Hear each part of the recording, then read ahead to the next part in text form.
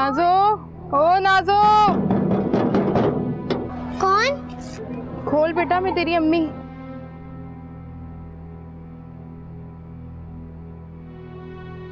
दरवाज़ा बंद कर। अम्मी डॉक्टर ने क्या कहा? भाई का पेट खराब है ना? सही हो जाएगा अभी। अम्मी ये आपके हाथ में क्या है? बेटा ये डॉक्टर लोग भी ना छोटी छोटी बातों पर टेस्ट लिख कर दे देते हैं। अब बता भाई का पेट खराब है और अल्ट्रासाउंड कराऊं मैं।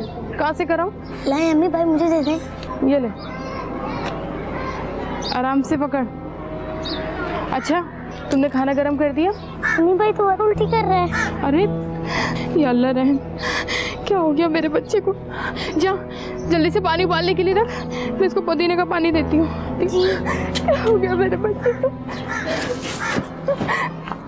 बचा खुचा खाना खाने से पेट की आग तो बुझ रही थी लेकिन मुद्रे सेहत खाना खाने से सेहत पर भी असर पड़ रहा था।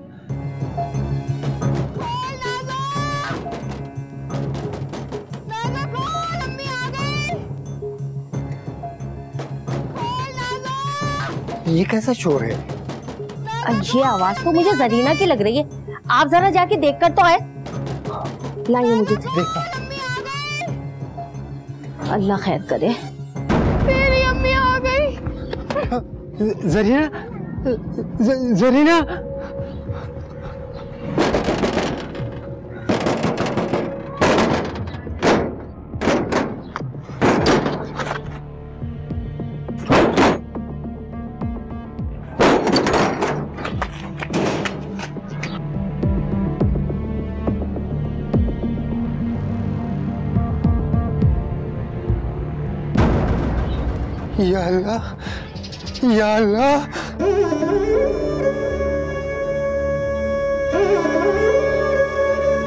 नाजो नाजो बेटा नाजो बेटा नाजो। बेटा बेटा आँखें खोल आँखें खोल बेटा।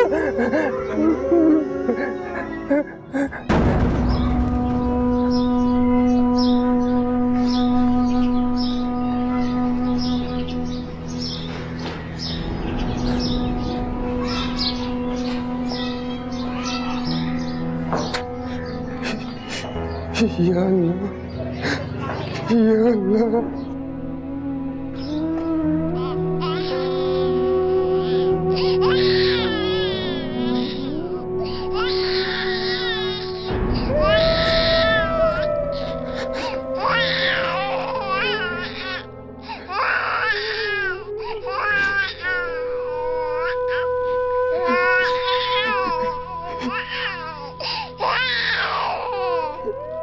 या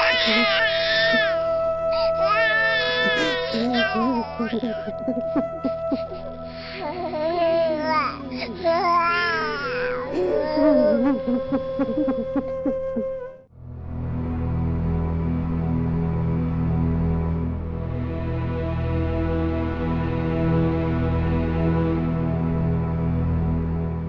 जरीना अस्सलाम वालेकुम वालेकुम अस्सलाम वरहमतुल्लाहि वबरकातुह जीते रहो बेटा कब्रिस्तान जा रही हो। जी हाजी साहब। वही जा रही हूँ। बेटा बुरा मत मानना लेकिन औरतों का कब्रिस्तान जाना मुनासिब नहीं है। जानती हूँ हाजी साहब। औरत का कब्रिस्तान जाना मुनासिब नहीं है। वो औरत जो ज़िंदगी भर अपने शौहर का सुख दुख में साथ देती है। और और उसकी मैयत को कांधा तक नहीं दे सकती? वो औरत जिसके साथ बढ़ाए गए दो बोल, मरते दम तक का एक रिश्ता तो बना देते हैं। सिर्फ़ मरते दम तक का। मरने के बाद उसे उसके शौहर की खबर पर भी जाने की इजाज़त नहीं मिलती। एक काम करें हाजी साहब। आप मेरी जगह मेरे शोहर की खबर पर चले जाएँ।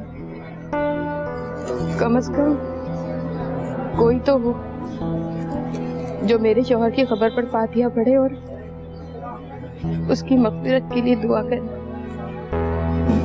बेटा मैं एक ज़रूरी काम से जा रहा हूँ तो मैं, मैं नहीं। हाँ अभी आप नहीं जा सकते। कोई बात नहीं। हाजी साहब, एक बात कहूँ, शरई उजुर हो तो सुअर का गोश्त खाने की भी इजाज़त मिल जाती है। आप तो सिर्फ़ कब्रिस्तान जाने की बात कर रहे हैं।